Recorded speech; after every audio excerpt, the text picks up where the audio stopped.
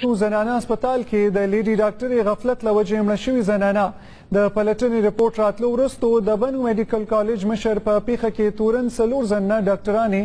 د نوکرۍ څخه لرې کړې دي د هسپتال اډیشنل ډایرکټر ډاکټر امان الله هم د خپلې څوکۍ څخه لرې کړې شوې دی زنانه ډاکټرانو کې اسوسییټ پروفیسور ډاکټر زکیا خان او میډیکل ډاکټرز میمونه فریحه او سنا هم شامل دي